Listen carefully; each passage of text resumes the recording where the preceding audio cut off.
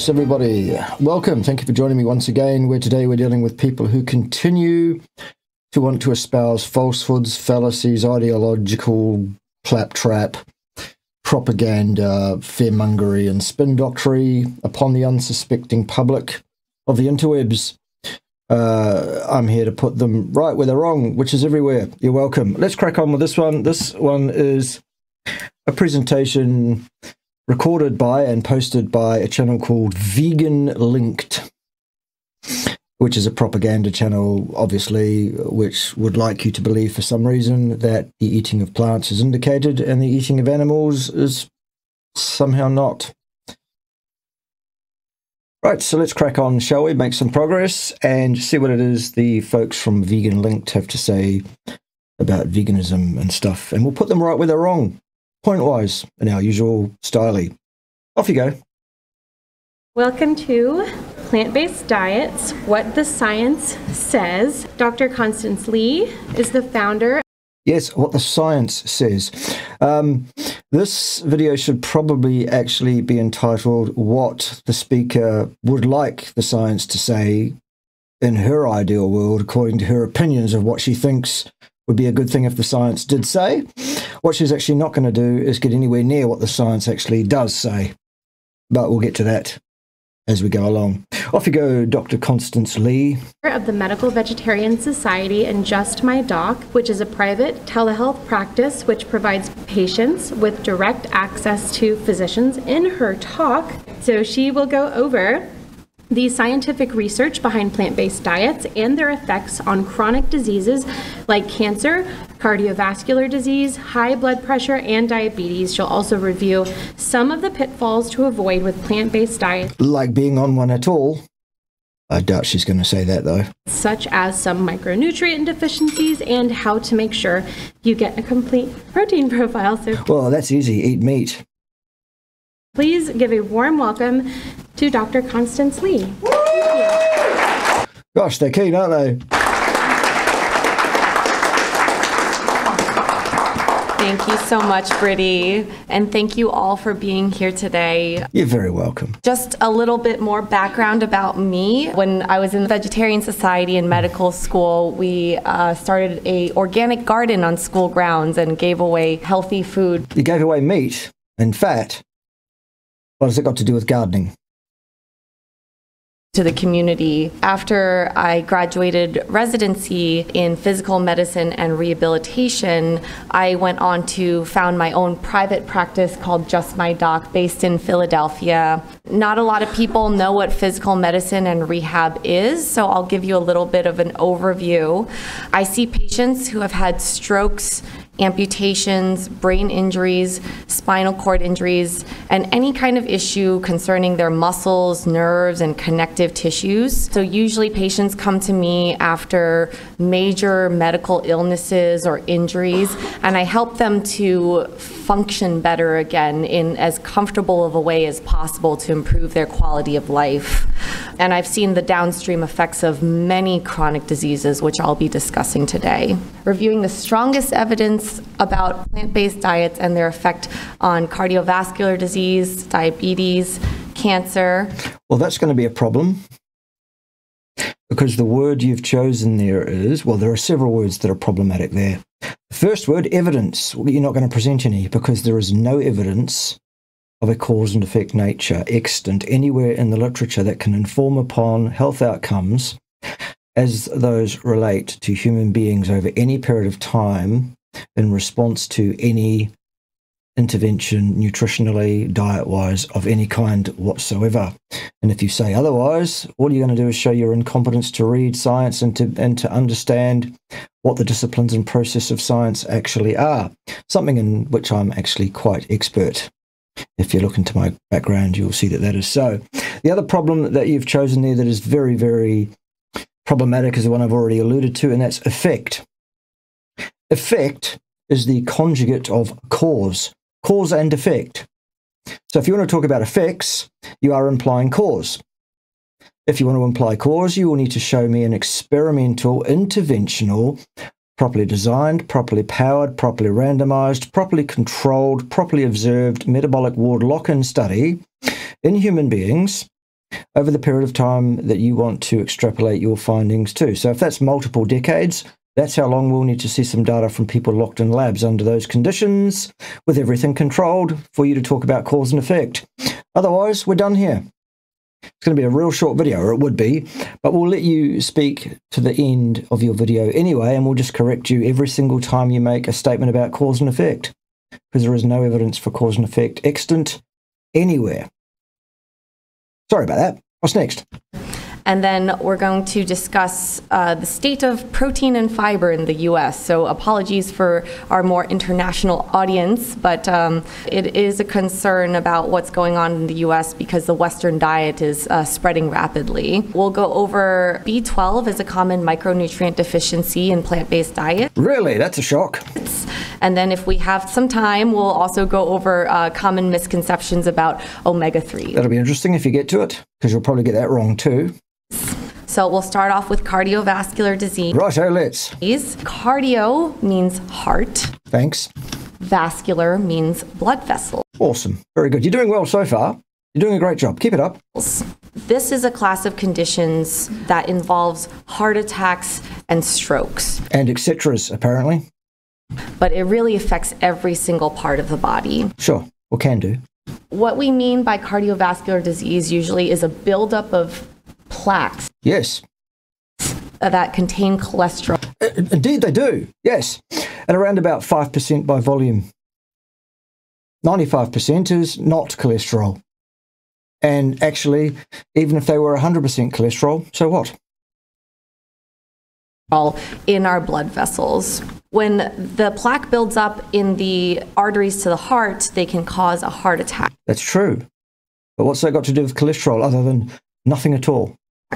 When they build up in the arteries that go to the brain, they can cause a stroke. Also true, but also still nothing to do with cholesterol. And this can happen to any organ in the body. And this happens not just in old age, but it actually happens at a very early age. Uh, people as young as 20 have been found to have plaque buildup Yeah, younger than that too, actually. in their arteries. So the earlier we're able Also, you'll find that it has no correlation of any utility with cholesterol levels, actually. Interesting, isn't it? to address this process and nip it in the bud, the better off we'll be when we're older. But the only way to nip a process like that in the bud is to understand what its underlying etiology cause is, Dr. Li, which you clearly don't, because you're pointing the finger at cholesterol there by failure to make a clear statement to the contrary, as I have done. Cholesterol does not cause heart disease. Unequivocally. No question. We're done. Uh, what's next? And why should we care about this? It is actually the number one killer in the US. Yes. And so we should deal with the heart disease problem, but we're not going to deal with it by intervening in one of the variables that has no causal relationship to the outcome cholesterol that will not affect heart disease outcomes. So, dear oh dear. and responsible for a third of deaths in America. And why does plaque build up in our arteries? Oh, here we go. This will be interesting. Is unfortunately, a lot of it has to do Are you serious? This is your explanation for heart disease? Parsimonious much? Simplified to the to the nth degree much, is it? Hmm. Dear oh dear. Appalling. Really, really bad. Saturated fat, cholesterol, neither of which have any role to play in heart disease whatsoever. Fiber. Also, if anything, fiber will make heart disease more likely, not less. LDL, a form of lipoprotein transporter for cholesterol and other lipids in the blood, plays no causal role in heart disease whatever. Arteries, yes, a clear one and one that's got some plaque in it. Uh, HDL, which plays very little role actually in the heart disease process either, and then back to liver. That's it? Seriously? Hmm.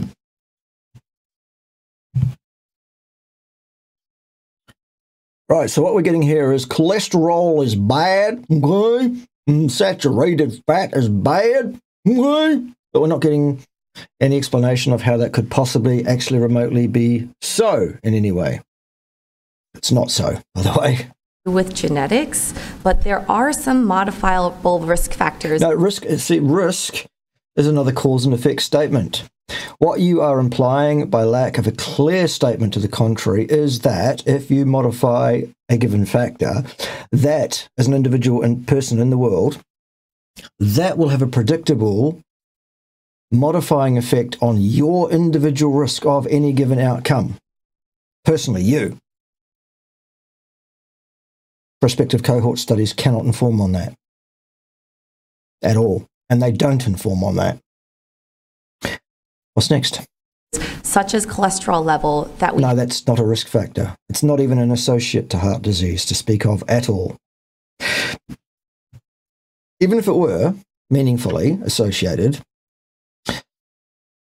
the analogy, the, the most sensible analogy is to say, well, yes, every single time we see footage on television of a major forest fire event, every single time firefighters are seen in these shots scurrying around doing firefighting. Ergo, the cause of forest fires is firefighting crews, and the way to deal with the forest fire scourge is to eliminate fire crews. It's ridiculous. It's absolutely, fundamentally, utterly ridiculous from the ground up. It holds no water. It stands not even the most basic cursory refutation. It's uh, another analogy is like saying, well, you know, if we correlate the sale of ice creams at Miami Beach with sunburn reported from people who have been at Miami Beach that day, what we'll find is a very strong, powerful correlation, in fact, between the sale of ice creams that day and sunburn reports that day. Ergo, we deal with the sunburn problem by outlawing this, outlawing the sale of ice creams. It is ridiculous. We are done. What is next? Have control over through diet and exercise. Who has In actual fact, diet and exercise play very little role in the control of one's cholesterol levels. So you haven't even got that right. ever heard of uh, good cholesterol and bad cholesterol? Oh, oh, me, me, me, says the bloke in green. I wonder if that's not Dr. Greger. Looks like not Dr. Greger from the back, doesn't it? If you don't eat your fruits and vegetables, you might die. Did you know that? All right. There is no such thing, by the way, as good and bad cholesterol at all. Complete fallacy. So, quite a number of people. And it's a fallacy. It does not exist. There is only one form of cholesterol. It's called cholesterol. It's a molecule you can look up in any textbook you like, and you won't find two forms of it. There is only one. So, who actually knows what this means? Well, clearly not you. Oh, oh, oh, not Dr. Greger knows. Dr. G. Uh, I was right. it is him. Oh, my word, my word, my word, my word. Oh, he has no idea, and he's not a doctor, by the way. Dr. Li. Michael Greger is not a physician. Okay, what's next? And a, a couple of people in the audience. All right, so we'll go over the basics here. No, you won't. You'll get it wrong. Cholesterol is a very diverse group of molecules. No, it isn't. It's one and one only. There is only one form of cholesterol. There is only one molecule called cholesterol. It's not diverse at all. Wrong. Some types are beneficial, No, there is only one type. whereas other types can be damaging. Nonsense. There is only one type still. Commonly, the shorthand bad cholesterol is It's not cholesterol. also known as LDL or It's not cholesterol, love. LDL is not cholesterol. Okay? It's pretty straightforward, neither is it bad, by the way. It's a lipoprotein that exists precisely because there's a length of DNA inside every single cell in your body that instructs those cells to make the stuff. Only some of the cells express and activate that gene. LDL is made in one of your organs in particular. Um, nonetheless, every single one of your cells has the DNA to do it. Okay? Um, the reason that that DNA is there is because it has survived the entire history of the universe in terms of an evolutionary uh, process. It's there for a reason. Okay, it's there to produce the carrier, the transport molecule for cholesterol, which comes in one and only one form. All right, it's very straightforward, very simple. Um, it has a purpose, it has a utility, it has some DNA that encodes for it. Job's a good one. What's next? Or low density lipoprotein. And this comes um, from the liver Yes. and delivers cholesterol to the rest of our body. It's not a good thing because 50% by weight and volume of every single cell membrane of every single cell in your body is cholesterol. And when your cells become damaged for any reason, the base material, I guess, for the repair of such cell membranes is cholesterol. And so it needs to be delivered there. Isn't it a great thing that we have a means of getting cholesterol to those cells through the blood, which it otherwise wouldn't dissolve in because it's a lipid and blood is water based. That's why we have the transporter. That's what it exists for. So it's actually very good. Should we move on?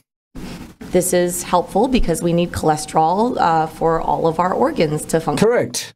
Uh, not just organs. Uh, cholesterol plays myriad roles in human metabolism, fitness, health, wellness, well being. Without sufficient cholesterol, you will die and you will die very quickly. Okay, what's next? properly. When it becomes damaging is when the LDL becomes too high. No, not at all. False. Wrong. just, just no. That's not what happens at all, actually. What happens when atherosclerosis begins is it's an inflammatory immune dysfunction cascade of events. The first requisite is absolutely inflammation of the epithelial cells in the vascular tree. The second requisite is an aberrant pressure profile in certain geographical selected zones within the tree where atherosclerosis invariably develop. And thirdly, it's very, very helpful if there is some chemical and or oxidative derangement to the lipoproteins. Okay? Absent any of those, atherosclerosis does not occur under the influence of any concentration of LDL or cholesterol or any other lipoproteins or subfraction of the lipoproteins either, in fact. All right? Very straightforward. What's next? Then it starts depositing cholesterol into our blood vessels. Not at all. Remember, atherosclerotic plaques are about 5% cholesterol by volume. 5. And it's there in an attempt to repair the damage that is being done that it's not keeping pace with because the rate of damage is exceeding the rate of repair. Ergo, 95% of the atherosclerotic plaques are things other than cholesterol, such as scar tissue. Okay? to cause plaque. You can No, cholesterol does not cause plaque. Not at all. No. Think of these uh, like dust bunnies over there that uh, go around and, and, and clog uh, our arteries. You could think of them that way, but you'd be wrong because they're nothing of the sort. They're nothing remotely similar to that. Utter nonsense. Whereas the good cholesterol Doesn't exist either. There's only one form of cholesterol. Remember, it's called cholesterol. Only one molecule, uh, refers to something called HDL. which is also not cholesterol. You're doing you're doing a great job, love. You really are. It's incredible. By which I mean completely lacking in any credibility whatsoever. No wonder not Dr. Greger is sitting there and lapping it up and loving it. high density lipoprotein, and these are actually helpful in removing the LDL from our arteries and returning it back to the liver. No, not necessarily. So you can think of these as the vacuum cleaners that remove the dust bunnies. No. HDL is a carrier of cholesterol, not other lipoproteins. You silly girl. You haven't even got the basics right. You do not understand the pathophysiology of atherosclerosis at all, clearly. You have no idea whatever of the etiology of atherosclerosis. This is embarrassing for you, or it should be. So there's a lot of different factors that influence your levels of good and bad cholesterol. Still doesn't exist. Generally, the biggest controllable risk factor for raising bad cholesterol is There is still no such thing. diet. No. False again on that. The levels of lipoproteins of all sorts in your blood are under the control of your genes almost entirely, not your diet. Eating lots of saturated fat and cholesterol while having low fiber is going to raise bad cholesterol. There is no such thing still, Um, this is opposed to the biggest influence on good cholesterol, which still doesn't exist either. which is getting lots of exercise. No, The levels of each kind of cholesterol are managed by there's only one still. The liver, which processes all the dietary fat and cholesterol that we eat. A good mnemonic is that uh, you generally want your LDL to be low Wrong. Completely false. and your HDL to be high. False again. Also not true. The levels of lipoproteins in your blood are set by your genes. Those genes know what they're doing and they adjust what the levels are at various times according to the situation, the environment in which you place your genes to best effect. What we ought to do is leave the genes to it. They know what they're doing, and you clearly do not love. All right, so now that we've established that cardiovascular disease is very important, Well, yes, we agree on that, but you haven't got anything whatsoever right about the etiology of heart disease yet. Not a single thing. Not even basic first principles. and we have a handle on how it develops, let's look No, you don't, clearly. You have absolutely no idea how it develops or even what the makeup is of an atherosclerotic plaque, let alone how it's caused. Ridiculous. at the research. Yes, let's look at some research. Good. Overall, it's difficult to study the connection between diet and chronic diseases because Impossible, in fact. It's hard to control exactly what people eat. impossible, in fact, unless you lock them in labs for years. That's my whole point.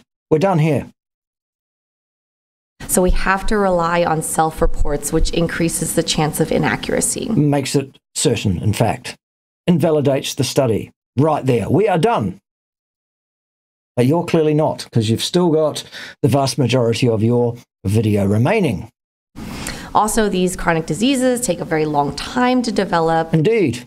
And so, how we mitigate these uh, difficulties in researching diet on Is by ignoring them completely, throwing all the disciplines out the window, and doing some pseudoscience instead, pretending that that's anywhere close or akin to actual science. That's what you do. diseases is that we get um, research studies that have a lot of participants and we Well, that doesn't matter how many participants you have if you haven't adequately randomized, designed, controlled, observed. You haven't done any science and you haven't established cause and effect. You've established associations, at least you would have done if at the end of your prospective cohort study you report what you actually observed, which they don't do either. First, they adjust what they observed. In other words, take the observations that they actually made, screw them up and throw them over their shoulder onto the ash can and publish something they made up instead. Wow. uh, follow them for a very long period of time. Harvard ran such a study to evaluate the effects of meat. No, not effects, because effect is the conjugate of cause. They did no such study. They looked at associations and then they ignored what they saw in terms of those associations and reported something different, as I've just said. Something they made up. It belongs in the fiction section, love. Okay, this is not science or anything closely akin to science. Epidemiology is hypothesis generating pilot work, no matter the sample size or the length of time over which people are so called followed, or followed up on, if you like. Science is done experimentally. If you don't do the experimental science, you have not established the case. Case dismissed. Bang the gavel, we are out of here. But you're still not done for some reason. Okay. consumption on cardiovascular disease.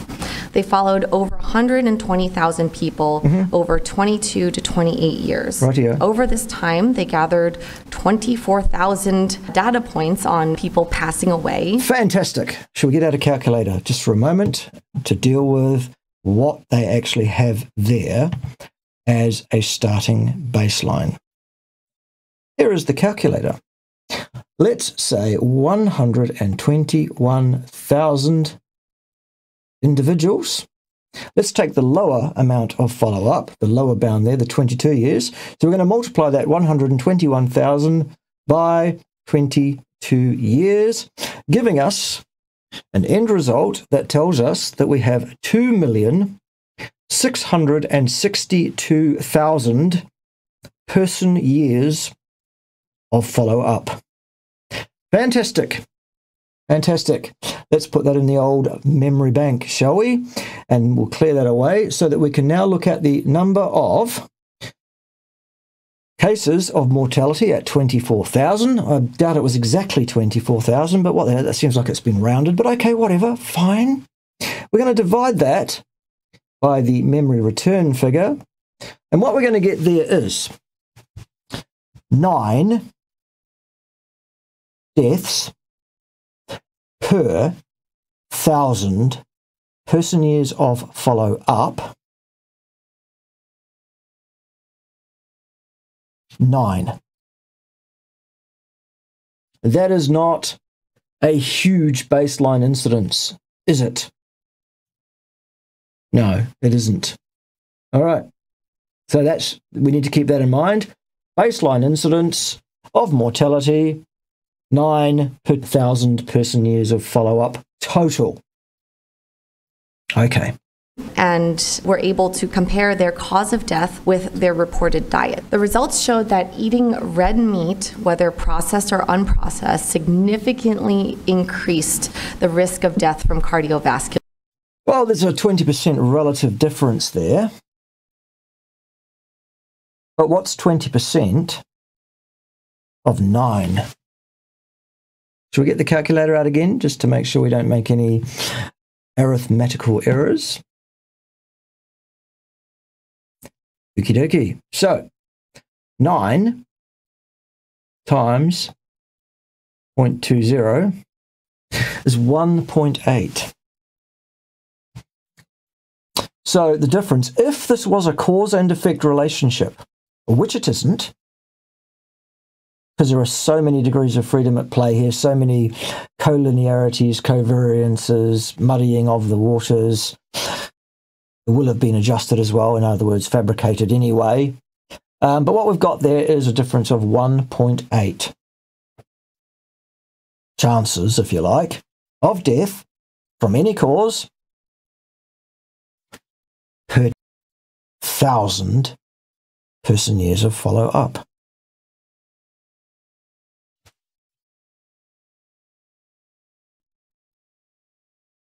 The other thing that's of interest, by the way, is that the age of the people at the start of the follow up period was already hugely advanced.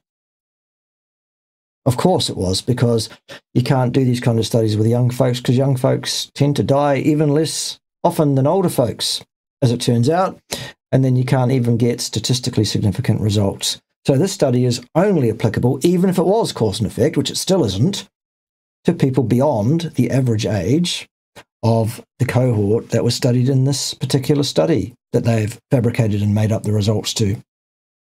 Whoops. Oh dear. Not science, is what I'm telling you. What's next?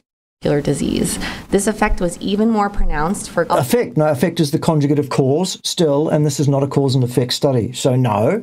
other causes like cancer. So the first blue bar you see um, on the right is a baseline for the risk of death of a person who No, incidents. No red meat No, someone that reported eating no red meat. Okay? Stop misrepresenting the facts here, love. It's ridiculous. throughout the study. And as soon as uh, people ate just one serving of unprocessed red meat a day No, that's what they reported. or more, their risk of dying from a heart attack or a stroke No, not risk, because that's the conjugate of cause. Still, this is reported incidents once it's been adjusted.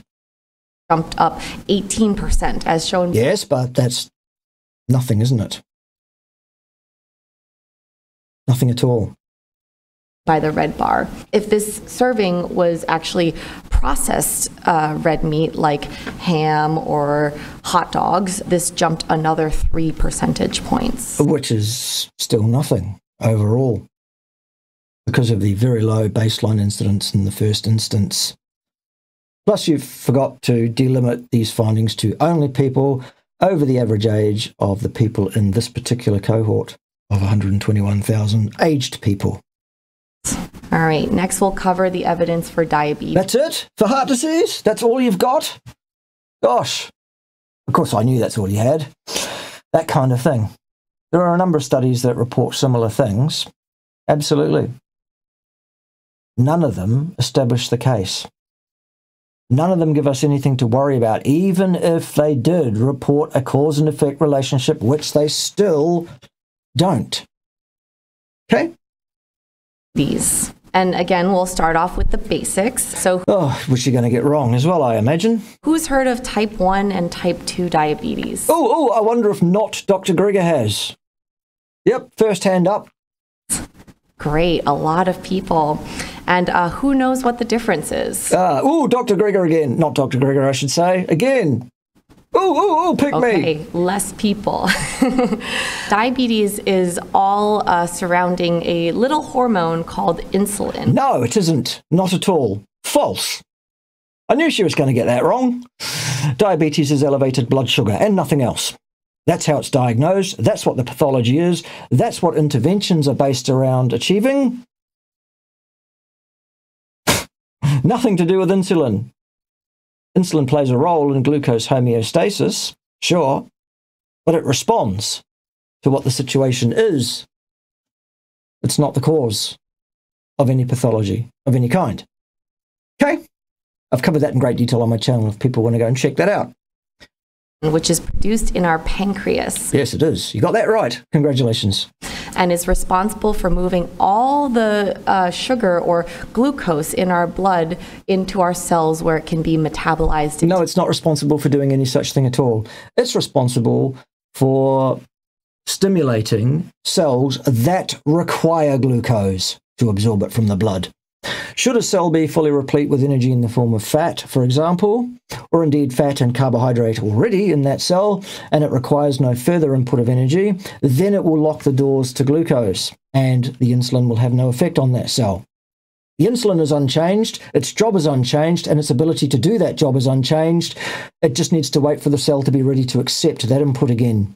And the cell will not be ready to do that until its energy reserves drop. Okay?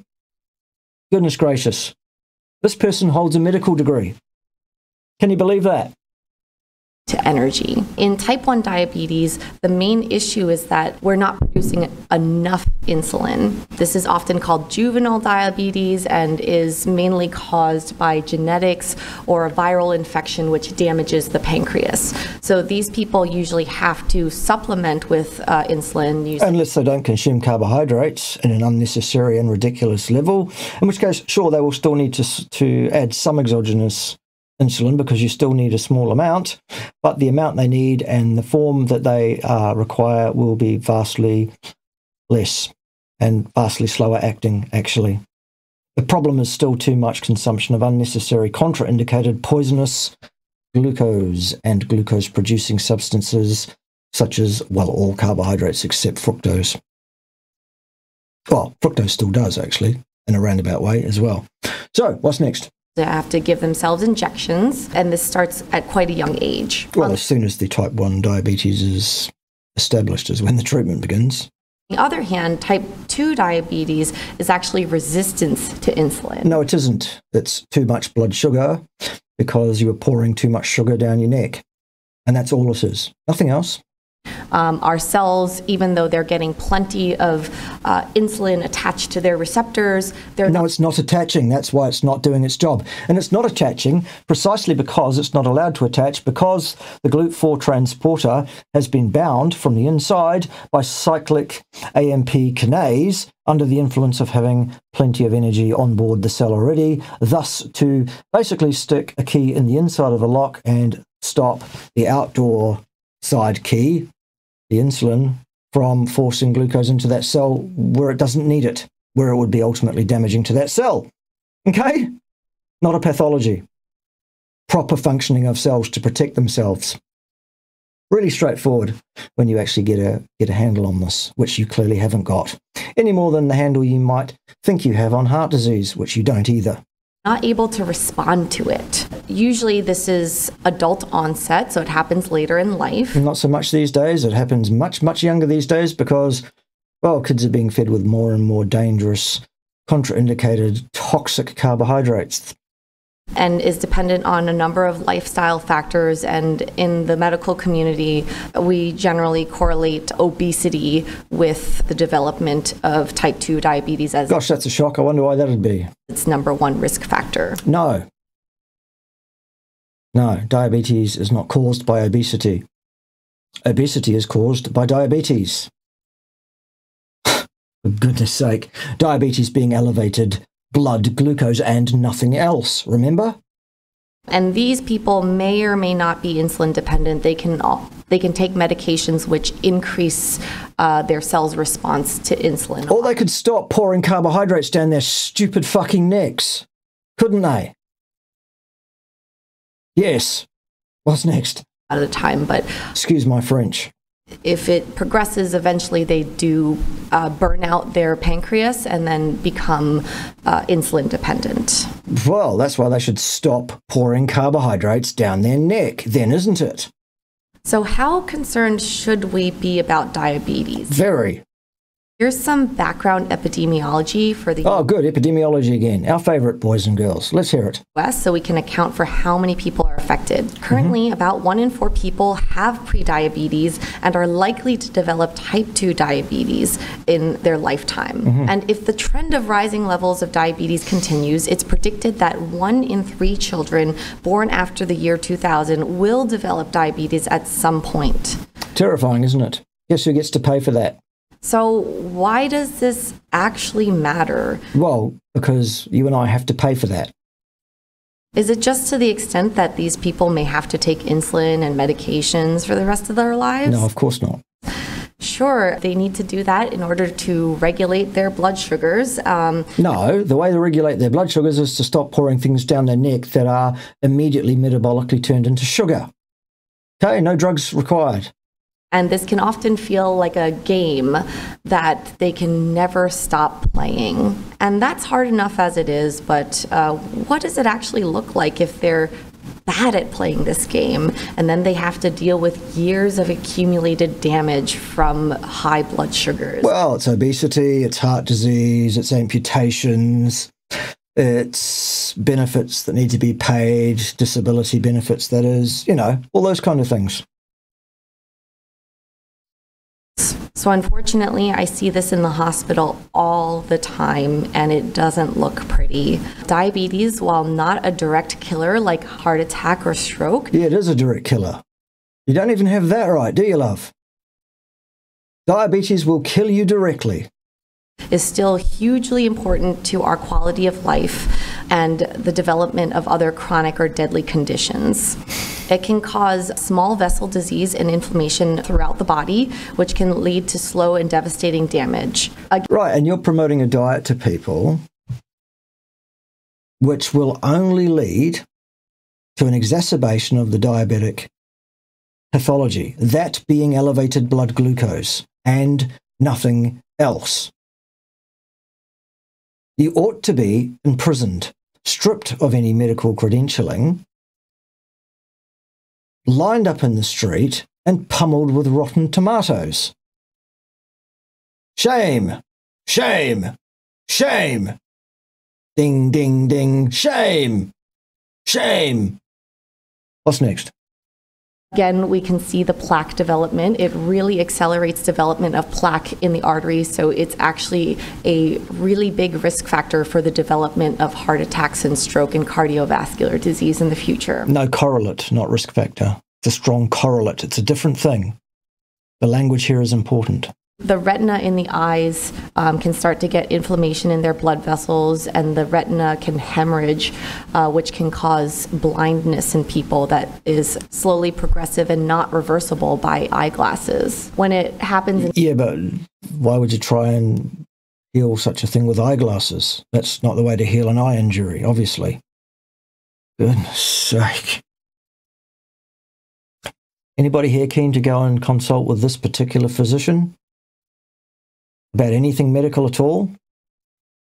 in the kidneys, the kidneys can get small and scarred and non functional, and people can eventually become dependent on dialysis, where they have to go to a center to get hooked up to it. It's almost as if you need to stop pouring carbohydrates down your neck. an external kidney three times a week, and this takes hours of time.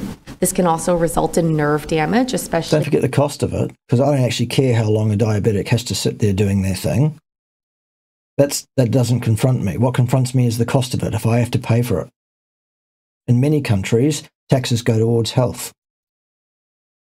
In many countries, health is not privatized.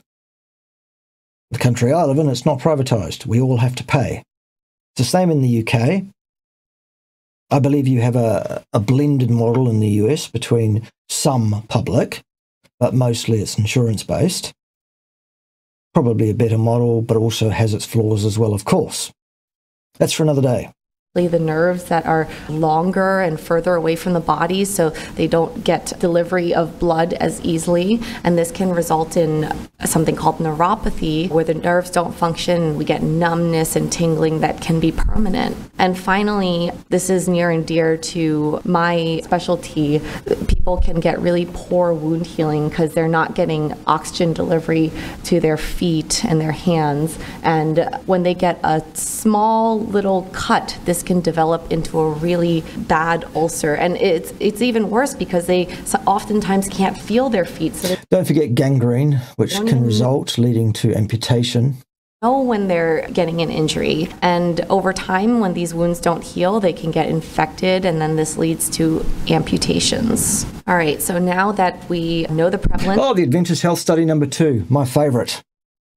We'll get to this one. This is great and the potential devastation of diabetes, let's look at the research. We can look at the Adventist Health Study, which studied. What they did, in fact, is they followed a bunch of people who were aged at the outset as well, of course, because all of these studies are of that nature. What they also did was adjusted their raw observations that they made so hugely and so inappropriately that they turned the incidence of mortality from all causes and every underlying subcause of mortality and disease prevalence all on their heads 180 degrees out of phase with what was actually observed in the population they looked at. This is a study run by a bunch of theologues from the Loma Linda University, and the results absolutely reflect what their canon required them to say that they would reflect. They adjusted their data so heavily to make it fit their canon, their religious doctrine, their good book, if you like, that this whole study is an absolute joke. Anyone that's remotely competent in statistics can go to that study and look at those raw statistics and see how heavily they have been adjusted from what was observed.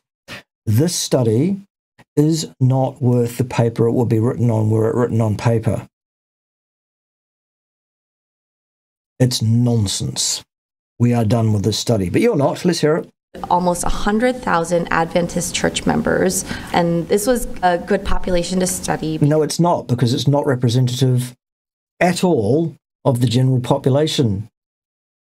Because a lot of them are vegans or vegetarians. That doesn't make it good. That makes it inapplicable to the society at whole at large. So we have a good number of them in, and they have very similar lifestyle factors. So there's not not necessarily just because they attend the same church. You have no idea what they do behind closed doors because they weren't observed. They were left under their own recognizance to live their lives, not science too much variation to, to control for. They tracked these participants every two years uh, on a whole range of health data.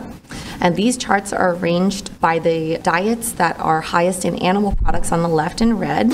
yeah, but as I say, if you look at the actual raw incidence data, you will find every single one of those has been turned around 180 degrees from the reality. The lowest incidence was at the left on the red bar, in absolute terms, and the highest incidence was in the vegans. For every single health problem and mortality in that study, every single one. Go and look at the raw statistics of the thing. Incredible, which once again, to remind you, means lacking entirely in credibility. Then the diets that were lowest in animal products, the vegans in blue, and it was found that as people had less animal products in their diet, they had lower BMI, which. No, it wasn't found. That wasn't found at all. It was adjusted. Okay? Traditionally, we correlate with a predisposition for diabetes. And then this is reflected well in the. Which is also false because you've got the causality 180 degrees out of phase. Diabetes causes obesity, not the other way around. Diabetes being elevated blood glucose, remember, and nothing else prevalence of diabetes, where as you ate less animal products, you're less likely to have developed diabetes. Nonsense. The exact opposite was true, as I've said.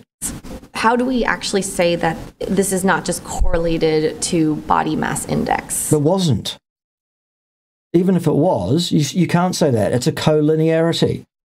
It's a complete confound. You cannot extrapolate that out. You cannot partition cause and effect contributors out as to 50% body mass index, 50% smoking, 20%. You can't do that. It is not possible.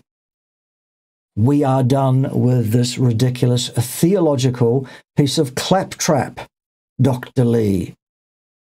We said earlier that uh, this was considered the biggest risk factor, but. No, not risk factor. Risk is the conjugate of cause. Still, the statisticians in this study actually accounted for that. No, they didn't because it is not possible. What they did is what's called a multiple regression analysis, which is something that most people don't understand even what that is, let alone remotely how it might be done. And so therefore they accept it as being scientifically valid and go, oh, yes, that's good, and sign off on it. It's no good. You cannot establish cause and effect with a single variate regression. So, what makes you think in a purple fit that you can establish causality using multiple variates, each one of which contributes an error? And maybe collinear, in which case the covariate becomes immediately invalid. Example Risk of death because of smoking and adjusted for age. Well, no, because the longer you smoke, the older you will be. It's collinear. You can't take age out of there. Goodness sake, this isn't rocket science or difficult to understand if you've actually got more than three brain cells, I would have thought. Or even more than five minutes, actually, of being exposed to the fallacies of epidemiological claptrappery and statistical inference. Okay? This is why people like you, Dr. Li, who have clearly no training in this field, should not be commenting publicly in this field. You are incompetent to do so. You don't see me giving medical advice, do you? No, Neither do you see Dr. Greger doing that.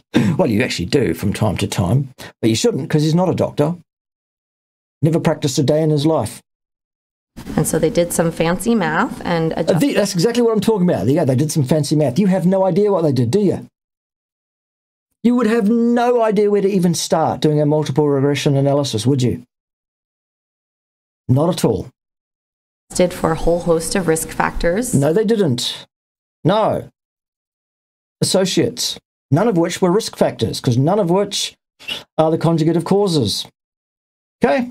Which is BMI, age. There you go, collinearity. We're done. Because the older you get, the more likely you are to be fat. So you can't take age out. Because that's going to affect everything else and invalidate your assertion, your fantasy, your work of fiction that belongs in that section and not in the science side of things. Okay? Sex, ethnicity, and. No. also, how do you adjust a continuous variable for a categorical?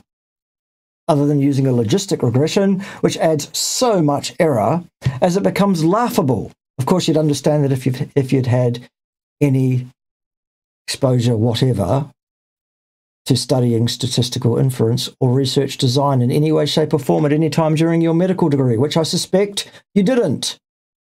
Ergo, you should not be speaking publicly in this field at all. Okay? physical activity, and still they found that vegans were half as likely to develop diabetes. No, they didn't. That's a number they made up because they used a regression sum to alter what they actually observed. See, scientists design studies properly, control them properly, observe them properly, randomize them properly, power them properly, all of that, and then they report what it is they actually did observe. Epidemiologists control nothing, randomize nothing, intervene in no way whatsoever, and then don't report what they even saw. Please. Hello? What's next? Compared to the non vegetarians. So there seems to be some compelling evidence that there's. No, see, compelling means you have to agree. There's no way to argue against it. I've been arguing against everything you've had to say with actual facts, actual science, and actual knowledge in the field for nearly an hour. So it's not compelling, is it? Another false use of language from you, love. What's next? Either something about a plant based diet that's protective against diabetes. No, see, protective is a cause and effect statement, again, which you don't have any evidence for whatsoever. Because you haven't just produced any evidence at all. You've produced a work of fiction an anti scientific piece of propaganda, not science. Or this, this talk is entitled What the Science Says. And you've given us propaganda, not science. Goodness gracious. I hope it gets better. I know it's not going to. Don't panic. Something about animal products that predisposes one to diabetes. Nonsense. No such thing is in fact true. The exact opposite is, in fact, true, um, provided that you remove the carbohydrate, the unnecessary carbohydrate from the diet. The single biggest cause of diabetes is the Randle cycle. Perhaps you should go and look that up. All right, next we're going to cover the evidence for plant based No, you're not, because there isn't any, still. And cancer. No, you're not. So for this. Oh, so now you're going to refer to an organization with exactly no credibility whatsoever remaining. just to make absolutely certain that there's no way in the world anyone with more than two brain cells will take you seriously for even a second. The moment you invoke this organization as any kind of authority on anything whatsoever, except self claimed authority, you're done. You're finished here. wow. I relied off of the rigorous compilation. There is nothing rigorous about anything this organization is involved in except propaganda and mass genocide. Evidence compiled by the organization. Now, it takes a lot for the organization to give out recommendations. No, it doesn't. And say, well, the only thing it takes a lot of is money. There's actually evidence for a connection between a risk factor and a disease. No, there are no established risk factors in terms of nutrition and health outcomes in human beings because it's still the conjugative cause. There are still no experiments upon which to rely to make such an inference. For this study, they considered over 800 different studies on cancer and diets. And there they, were no studies that experimentally look at cancer in human beings at all. Never have been. This- never will be down to uh, 10 studies that were the most rigorous. No, they weren't. And found that for every 50 gram portion of processed meat, the risk of colorectal cancer. No, cause and effect statement, false. Increases about 18%. No, only in the presence of carbohydrate as well. Randle cycle is the issue there, not the meat. There are no studies on people who eat meat and not carbohydrates. So these are their official statements. So what? They have no meaning. They are not based in science. Not an organization that is remotely worthy of listening to on any topic ever again. They should be disbanded, actually, and all their members ought to be imprisoned for genocide. So for red meat, which is like steak or pork, they found that it's probably carcinogenic to humans. No, they didn't find anything of the sort. That is a cause and effect statement. There is no evidence to support it. And that's actually a, a very big uh, statement from the world. Yes, it is a big statement, but that doesn't make it correct. It isn't. And it, it, was most strongly correlated to colorectal cancer, which you can see right here. This is a colon that was uh, opened up. On the left over here, you see a nice normal colon tissue. And are you going to provide us with a correlation statistic? Or are you just going to tell us it was most strongly correlated? Because I can tell you what the level of correlation was. Basically, nothing to any given living human being over a 100 year lifespan. Still. And then on the right, you can actually see this like angry, lumpy red polyp, and that's cancer. Yes, cancer is a terrible thing. No argument. However, you are not providing any evidence whatsoever that cancer is connected cause and effect with anything else. Because it doesn't exist. That's what it looks like. Yes, we know what it looks like. Well, those of us that have seen it before. Yes, absolutely. Also, uh, some evidence that showed that there was an association with red meat and pancreatic cancer and prostate cancer. No, there isn't a meaningful association, let alone a cause and effect relationship established. False again. Cancer as well. Next, for processed meat, um, the evidence was even more damning. No, no, it isn't at all. Wrong again. Another incompetent reading of the statistical inference provided and its underpinning, underlying meaning, validity, utility, etc. Uh, and they they classified it as a carcinogen. Who cares what they classified it as? That doesn't make it so. People can't just go around classifying things or themselves as whatever they feel like. Okay? Things are or are not. Classifications mean nothing. And there's no evidence to support a classification. So let's move on. Mean, meaning that it causes cancer. No, it doesn't mean anything of the sort. Cause and effect is established when a finding meets a number of absolutely unnegotiable criteria. Failing any one of those, any possibility of cause and effect can be dismissed. And this fails. Let's move on. Again, this was mainly with colorectal cancer, but there was some evidence that the processed meat was also associated with stomach cancer. No, there wasn't. False again and you haven't provided it. You've just said, in your opinion, there was some evidence that. Well, what was the evidence? Because I'm well aware of what the literature and the statistical inferences are in this area. I've looked at them very carefully over a period of time as a senior academic, I would suspect, lasting most of your entire lifespan thus far, love, if not all of it. No, no evidence exists for what you have just claimed at all. False. Yet, with all this evidence. No, there is no evidence. Still, all this evidence, you haven't provided any. You've provided us with propaganda pieces, not science, not evidence. You have not established your case. You have spouted a theological bunch of claptrap people are really still confused about why colorectal cancer is increasing in the United States. It's because they get misinformation from clowns, including yourself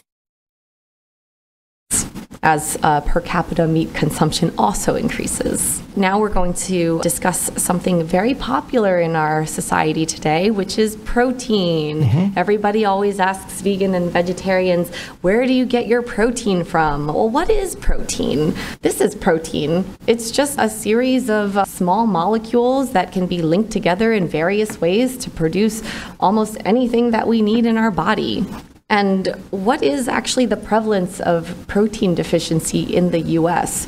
So, in medical school, we learned about something called kwashiorkor, which generally displays as someone who's really skinny with very low muscle and a big belly. This is because they don't have enough protein in their body to absorb the water back from their belly. So there's actually an osmotic difference.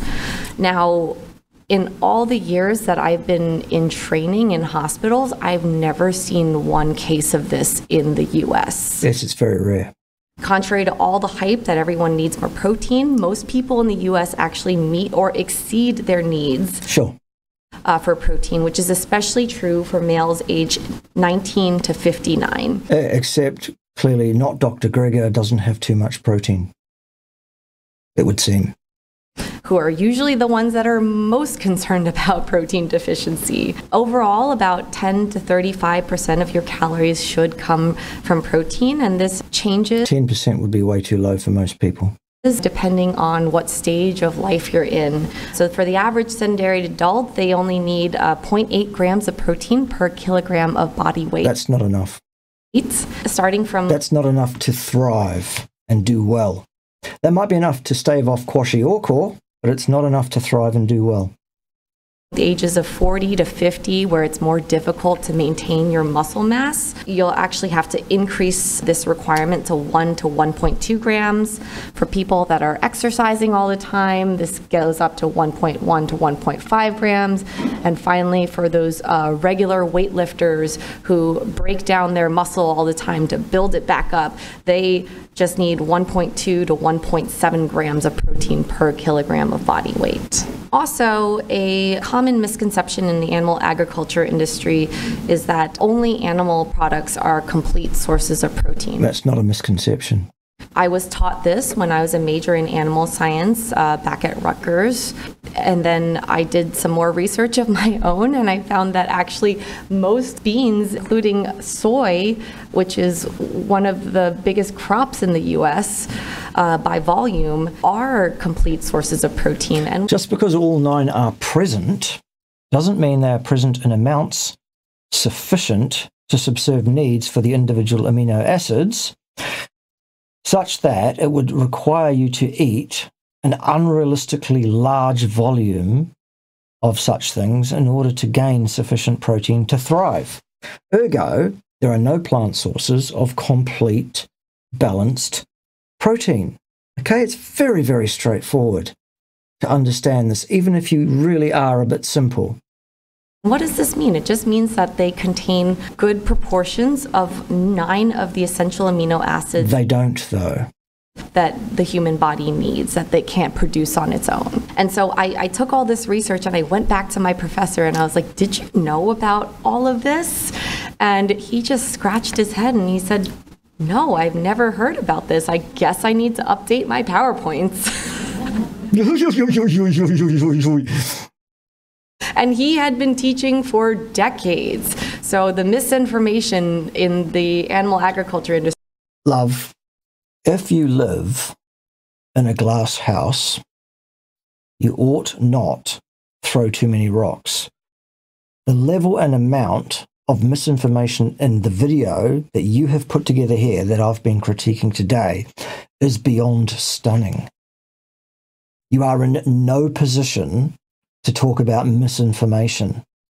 You should change your name to misinformation. Okay? Industry is strong. Also, uh, why do we need to care about complete proteins? We only need to care about complete proteins if we're eating a single source of food for our entire lives. Um, like if we're only eating wheat or we're only eating corn and not eating burritos that package it all together. This is just fine. Actual protein deficiencies are rare, irrespective of dietary habits. If you, if you define protein deficiency as the presence of kwashiorkor, fine. Nonetheless, there is no source of protein that you can find in a plant that would be sufficient for human needs. You have to combine and you have to know what you're doing.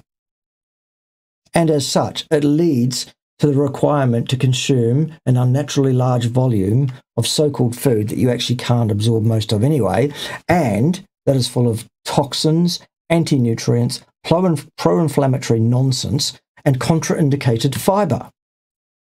Enteric destroying fiber. Wow.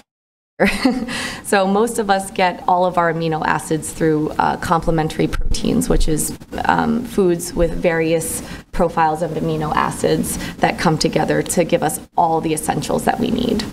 Next is one of my favorite. Oh, here we go. Which is fiber. Right. Let's see if she gets anything at all right in this field. Not as sexy. I'm not hopeful is protein in the US, arguably much more important. Fiber deficiency. Well, that's interesting. How can you be deficient in something that the exact dietary requirement for is not one single gram of it ever? There is no requirement in a human being for fiber in the diet at all, ever. Just the facts, though. Important. Many health conditions have been linked to a low fiber diet, including. Right. So also sunburn has been linked with ice cream sales, and fires have been linked with fire crews.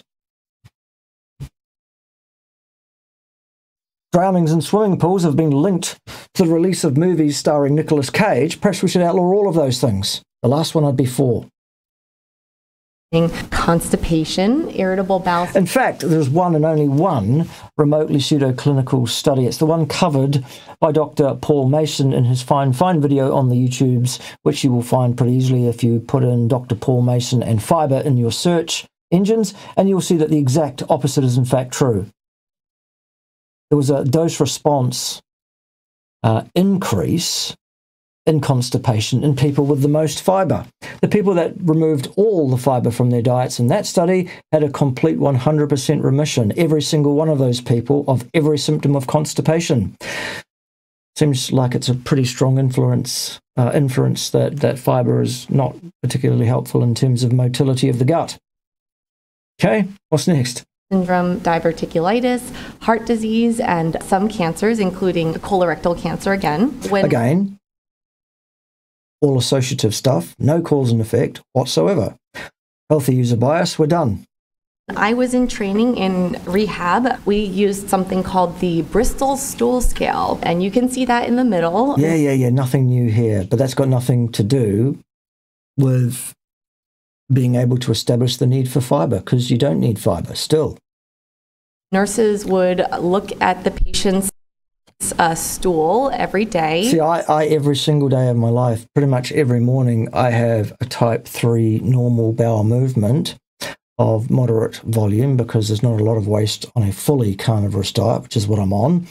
Uh, no straining, no stressing, no constipation, no problems, one and done. No fiber. No fiber to speak of for eight years.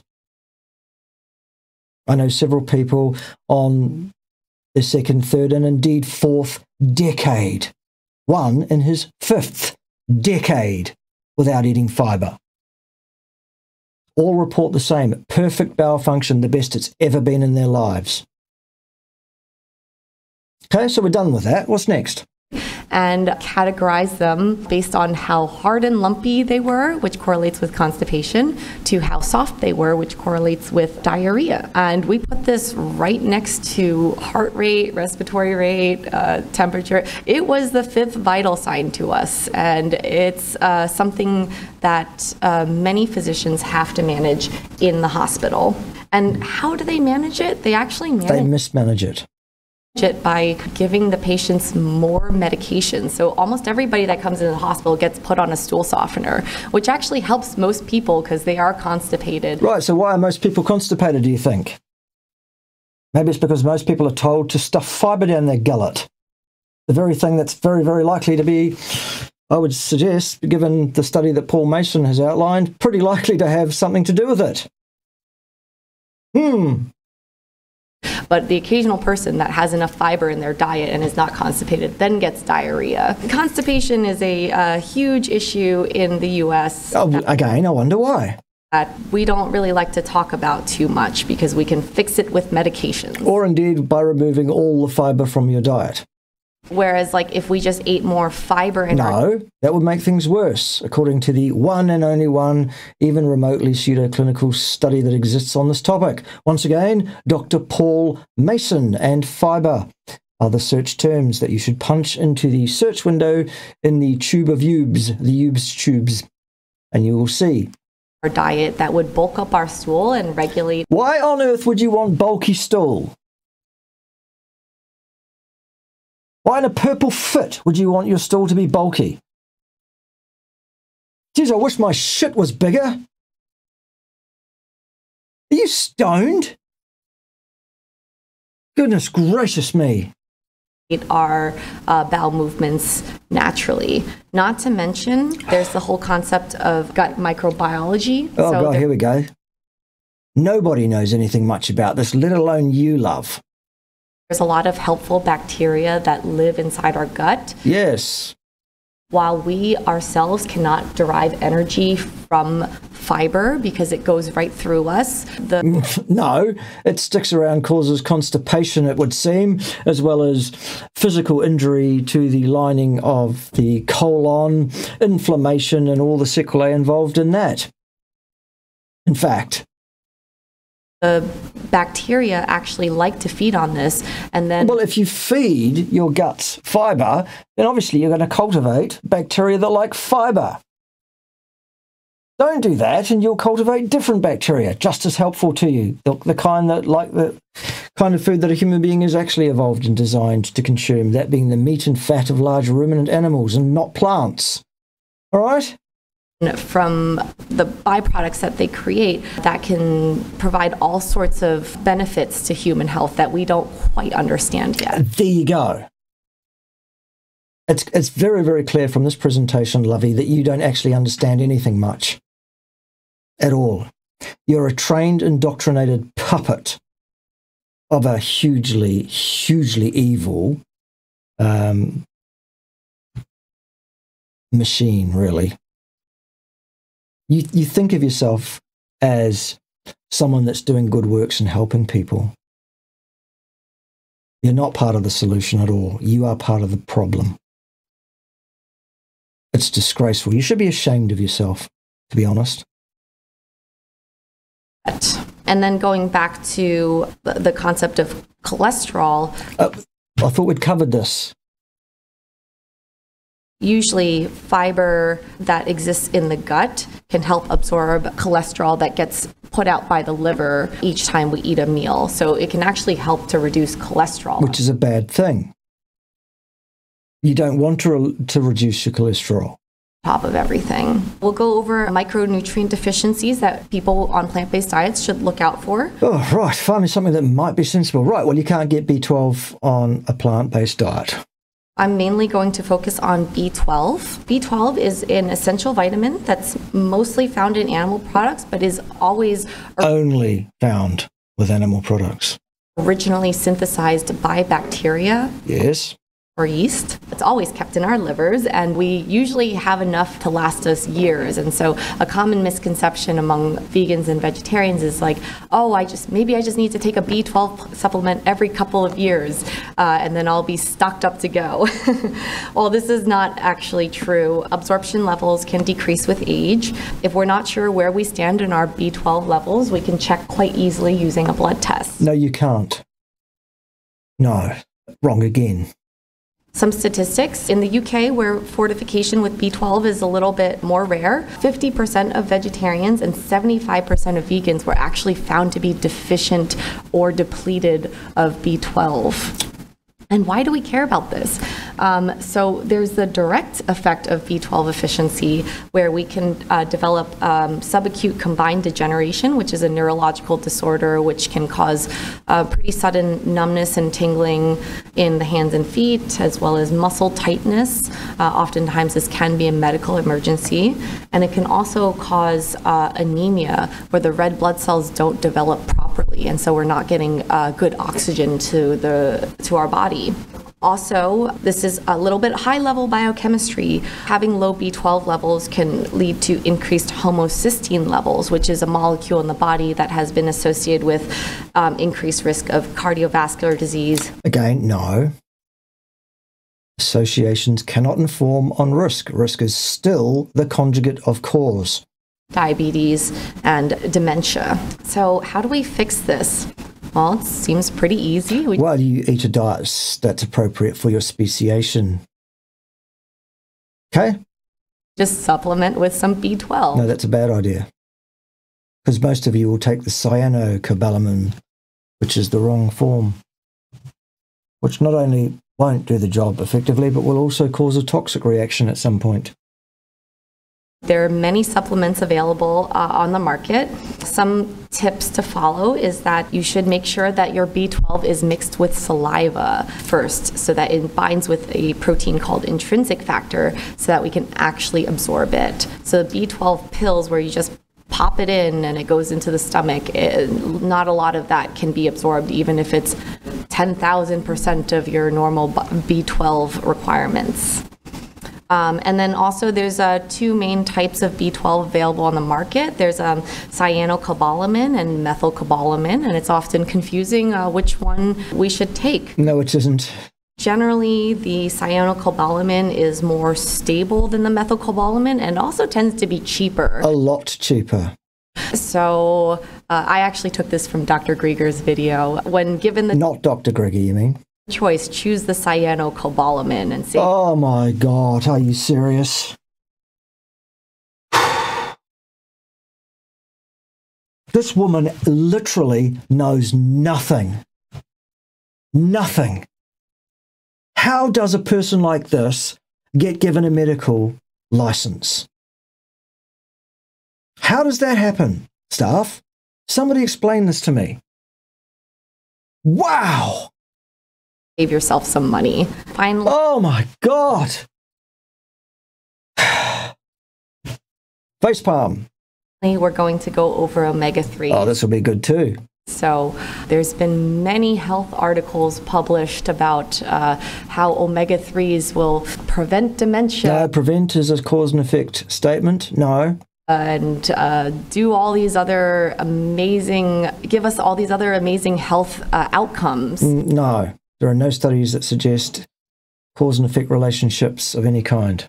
And while it's true that um, omega 3s are found in many important tissues in our body, we actually have to look at the evidence. Well, go on then.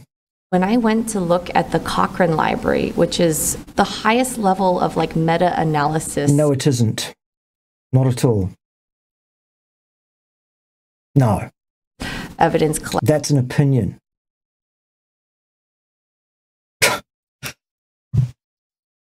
Collected in the US. It, it, it just, it, they don't come up with studies on their own, but they collect studies that are created from all over and they find the highest level ones and then Highest level, boys and girls. And attack helicopters. I shouldn't leave you out, should I? they distill it down and tell us like what is found from it. No, they don't. They don't do any such thing, in fact. Every single disease, it has never been shown that supplementing with omega 3 or having an omega 3 deficient diet is shown to increase or decrease the incidence of dementia, heart disease, stroke, or death. Well, the first thing you've said that's correct. Incredible. We've had to wait nearly 26 minutes in your video for a single statement that was remotely correct. Well done. I combed the internet for evidence and I couldn't find any. It's because it doesn't exist. Good. And Why didn't you do the same thing for cholesterol and fiber, for example? Because it doesn't exist there either. yet we're still talking about how essential omega 3s are. No, we're not. Some people are. I'm not. And there just seems to be a They are an essential nutrient in very, very low levels. Luckily enough, sufficient can be found in the muscle meat of large ruminant animals. discrepancy there. There's uh, 79 randomized studies involving 112,000 people that showed that this purported physiological mechanism of omega 3s helping our bodies doesn't really translate into real world outcomes. Right, fine. Plus, on top of that, we have no way of knowing if we're deficient in omega 3s because there's no simple, reliable blood test for it. Blood tests don't tell us anything about deficiency anyway. So, that is my um, review of the science behind plant based diets. Wow, there you go. One thing you got right in 26 minutes and 38 seconds. One. Everything else wrong. Completely, demonstrably, unequivocally, absolutely wrong. Dangerous, misanthropic, contraindicated disinformation of the highest order. You ought to be ashamed of yourself. This video was absolutely appalling from you. Please don't make any more public addresses to people about health or nutrition. You are a laugh. My people are laughing at you. Okay? The rest of you, you know the drill. See you next time. Don't let the door hit you in the backside on the way out. Enjoy the music on the way out the door. Make sure you clean up the room before you leave. See you next time when someone else will be wrong on the interwebs because it does not look remotely like slowing down anytime soon, does it? No. See you then. Two, three, four.